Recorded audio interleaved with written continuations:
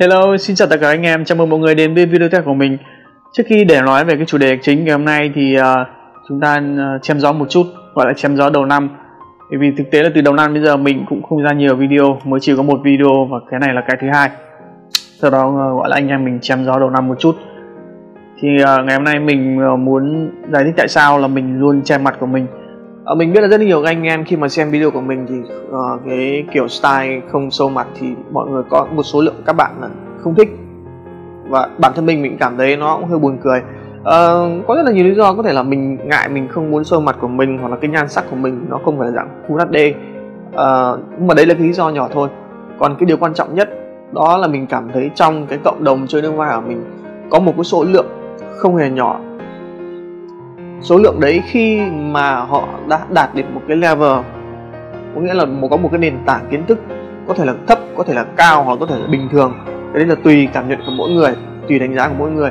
Nhưng khi mà họ đã có một cái level nào đó thì trong cái tư tưởng của họ trong cái suy nghĩ của họ họ là thượng đẳng. Họ luôn luôn đúng họ không bao giờ sai.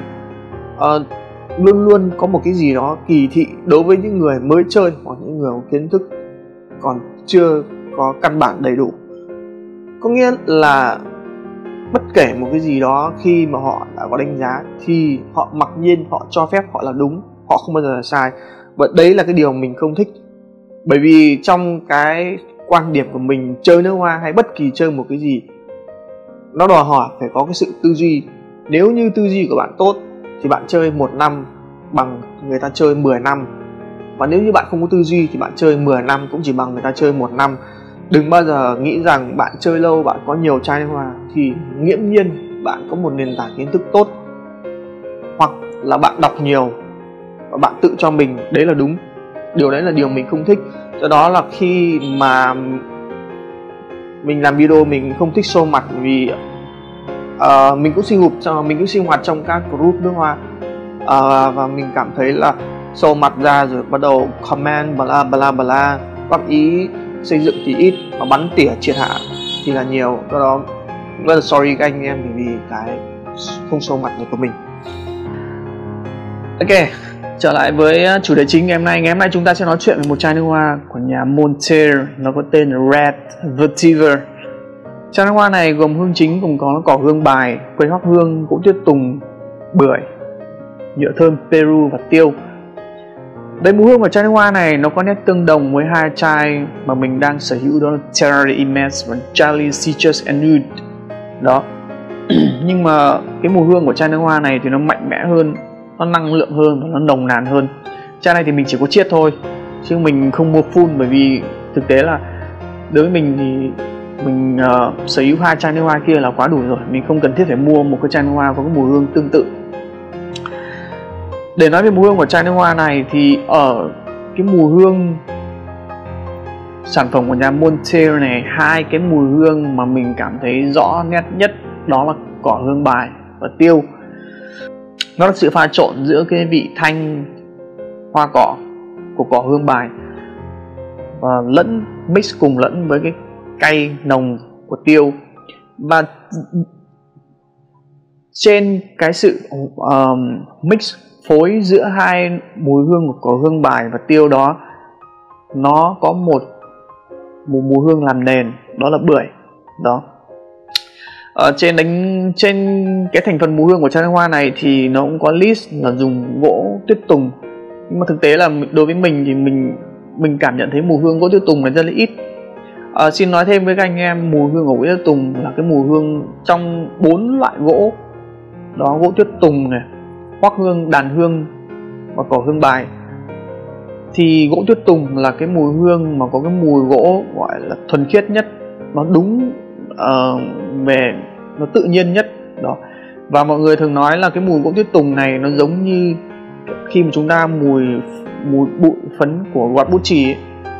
khi mà chúng ta quạt bút chì thì cái mùi mà chúng ta sẽ ngửi đó nó sẽ tương tự với mùi của gỗ tuyết tùng nhưng mà thực tế là ở trong cái chai nước này có thể là bởi vì cái cỏ hương bài và tiêu nó khá là mạnh, cho nên là mình thực sự mình cảm, mình không cảm thấy cái nốt gỗ tuyết tùng nó rõ ràng, mà, và mình chỉ cảm thấy ba nốt hương rõ nét nhất đó là cỏ hương bài, tiêu và bưởi.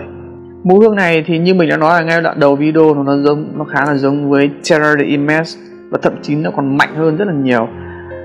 Và đấy là cái điều mình cảm thấy không đối với cá nhân quan điểm của mình thì mình không thích lắm ở cái mùi hương này. Bởi vì thực tế mà nói đây là cái mùi hương classic. Nó không phải dành cho các bạn trẻ. Và các chị em uh, tuổi ở đời còn trẻ cũng không phải là quá là thích mùi hương này. Do đó mình thích một cái gì đó nó tròn trịa và nó vừa đủ. Giống như Terra Immense hoặc là Charlie Citrus and Oud. Chứ còn dạng kiểu power mạnh hơn như chai Monterey Intense à, Monterey này thì mình nghĩ là không cần thiết. À, và sau đây chúng ta hãy cùng xem phản ứng của mọi người khi được người mùi hương của chai nước hoa này.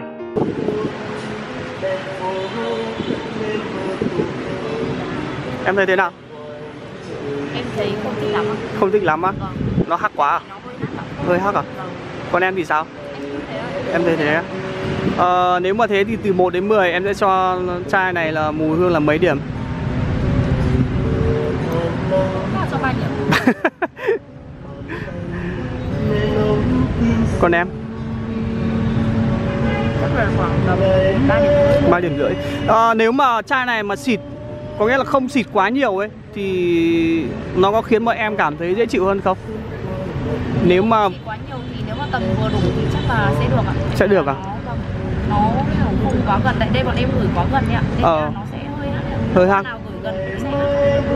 còn nếu mà gửi xa xa thì sẽ đỡ hơn à không à? rồi anh cảm ơn nhá cảm ơn hai em rất nhiều how do you think it's strong No, it's, it's quite nice. It's, it's manly. yeah it's manly yeah It's not. It's classic a- yeah, it's quite nice.